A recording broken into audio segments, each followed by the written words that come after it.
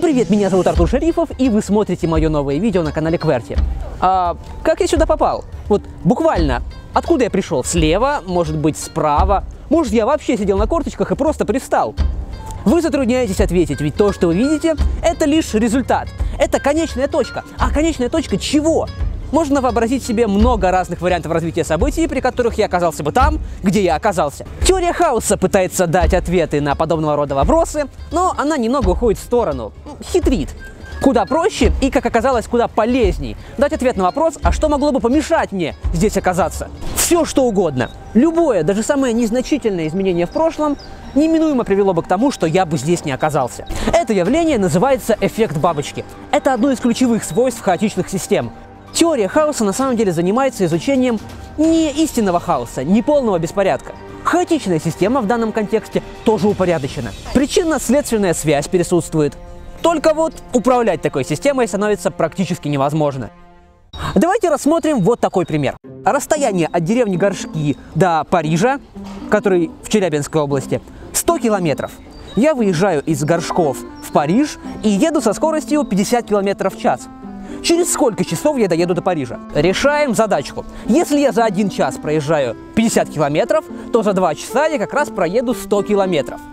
То есть для того, чтобы добраться от Горшков до Парижа, мне нужно 2 часа. Действительно ли все так просто? Да, на самом деле. Все потому, что мы знаем, что если я буду двигаться чуть-чуть быстрее, то и приеду я чуть-чуть раньше. А если я буду двигаться немножко медленнее, то чутка позже приеду в точку назначения. Это яркий пример устойчивой системы. Система, описанная по математическим законам, может считаться устойчивой, если при малых изменениях начальных условий мы наблюдаем малые изменения результата.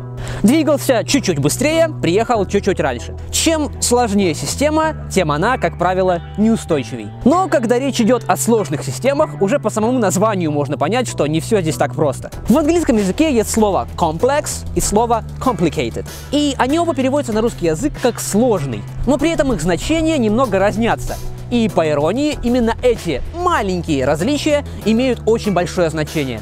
Комплекс – это сложный, в смысле навороченный, продвинутый, возможно, состоящий из нескольких других объектов, которые тоже можно считать навороченными. Например, iPhone – достаточно сложная, навороченная штука, которая внутри состоит из большого количества компьютеров. Сложная, но тем не менее устойчивая. Мы ведь очень легко управляемся с айфонами. При этом при малых изменениях параметров мы наблюдаем малые изменения результата. Такие сложные, на самом деле ведь сложные системы являются устойчивыми к начальным условиям. А вот те сложные системы, которые по-английски называются complicated, как раз и являются неустойчивыми. Они и есть объекты изучения теории хаоса. В таких системах при малых изменениях начальных условий происходят просто колоссальные изменения результата. Самый лучший синоним, который я смог подобрать в русском языке, это слово «запутанный». Создателем теории хаоса является Эдвард Лоренс. Нет, это не тот Лоренс, который открыл силу Лоренса и преобразование Лоренса. Наш Лоренс в первую очередь был метеорологом. Просто, видимо, у метеорологов очень скучная работа. И Лоренс, видать от скуки, начал просто по несколько раз перепроверять результаты. Он получал лист с распечаткой всей информации по исследованию, а затем брал начальные условия и снова забивал их в компьютер.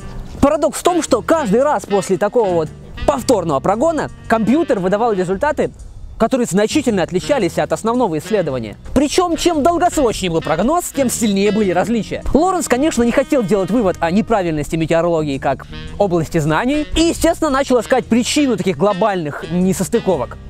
И этим самым он навсегда изменил математику. Дело в том, что данные в компьютер вбивались с точностью до 6 знаков после запятой, а на распечатке данные округлялись до 3 знаков после запятой.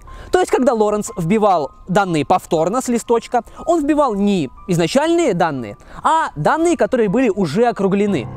И хотя это очень маленькие различия, то есть максимальная ошибка ведь составляет одну тысячную. Это очень незначительно. И этого было достаточно для того, чтобы вместо яркой и солнечной погоды начался ураган с градом. Лоренц стал все глубже опускаться в математику и таким образом открыл новую науку, которая называется теория хаоса. Кстати, термин эффект бабочки тоже был введен Лоренцем. График, показывающий изменения множества состояний нелинейной динамической системы с течением времени в трехмерном случае, подозрительно напоминает крылья бабочки.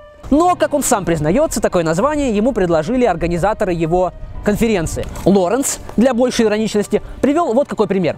Взмах крыльев бабочки в Бразилии может породить целую цепочку событий, которые повлекут за собой смерч в Техасе. Эффект бабочки является центральным понятием теории хаоса. При этом очень важно не путать хаос и случайность. Многие явления в биологии, химии, медицине и даже экономике, которые раньше было сложно описать математическими законами, которые тогда условно считались случайными, сейчас оказались хаотичными. И работать с ними можно по законам теории хаоса. К примеру, стало намного проще предсказывать приступы эпилепсии у больных. Движение спутников по орбите оказались хаотичными. Транспортный поток по многополосной трассе также подвержен эффекту бабочки.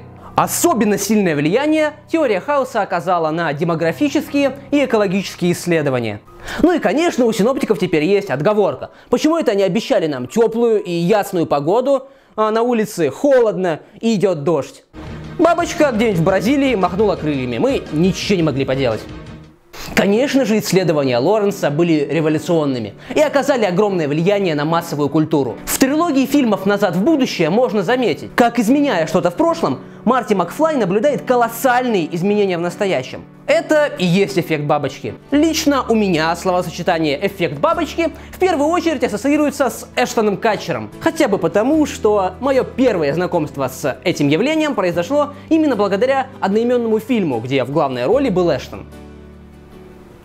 Наш мир, что уж там скрывать, сложная конструкция. Сразу во всех смыслах. Очень навороченная и очень запутанная штука. В своем прошлом видео я рассказал о таком абстрактном компьютере, который вполне возможно мог бы предсказывать будущее на сотни или даже тысячи лет вперед. Так вот, эффект бабочки, который несомненно присутствует в нашем запутанном и хаотичном мире, делает такое предсказание практически невозможным. Никаких округлений, никаких приближений – никаких допущений.